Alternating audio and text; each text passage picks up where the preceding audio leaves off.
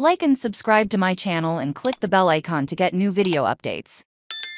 Where could Kai Havertz fit in at Arsenal? Nowadays, there is little surprise when a player crosses the gap between Chelsea and Arsenal. See Willian, Petr Cech, David Luiz and Jorginho, who have made the move from Stamford Bridge to the Emirates, with mixed success in recent seasons. Arsenal meanwhile, it has become a habit the news that the Gunners are considering a move for 24-year-old Kai Havertz has sparked confusion in some quarters, particularly as attacking purchases have been low on Arsenal's list of priorities. Assuming Arsenal are on the verge of completing a £65 million deal for Havertz, after reaching an agreement in principle with Chelsea, and a medical could take place in the coming days, before he is in the red and white, there is skepticism among the more cautious Arsenal fans, but glass half full Gunners with faith in Mikel Arteta's vision, are keen to see what the Spaniard can do with a player who has yet to take the Premier League by storm, like he has did it in Germany with Bayer Leverkusen. Havertz's ability to play in a variety of roles